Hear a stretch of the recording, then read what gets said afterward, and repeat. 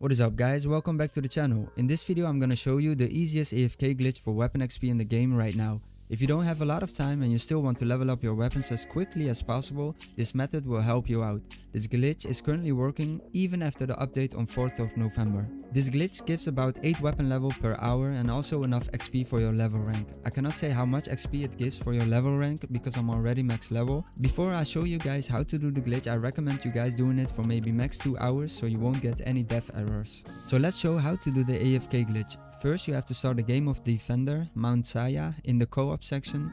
Bear in mind that you have to do this glitch on your own, so either join the game with a friend so he can leave, or if you don't have friends to join, just join with a random guy and basically restart the mission until the random leaves.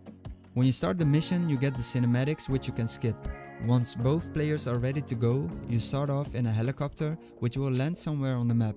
Once landed, like I said, either tell your friend to leave the game or restart the mission until the random leaves your game. When the random leaves the game, go to this weapon section and pick up the gun you want to level up. I took the RPG in this example. Once you got the gun you need, you could drop everything else just to be sure, but it's not needed. Once you are ready, just follow this path to this building, go up,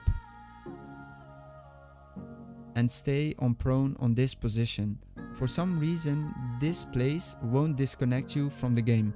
When you are finished or you are ready to get the XP for your weapon, you can leave this location and go to point A where the enemies are. Just let the enemies kill you, don't leave the game yourself. This is a must. If you want to see the bar of how much XP you got from this game, you have to wait for this timer to finish.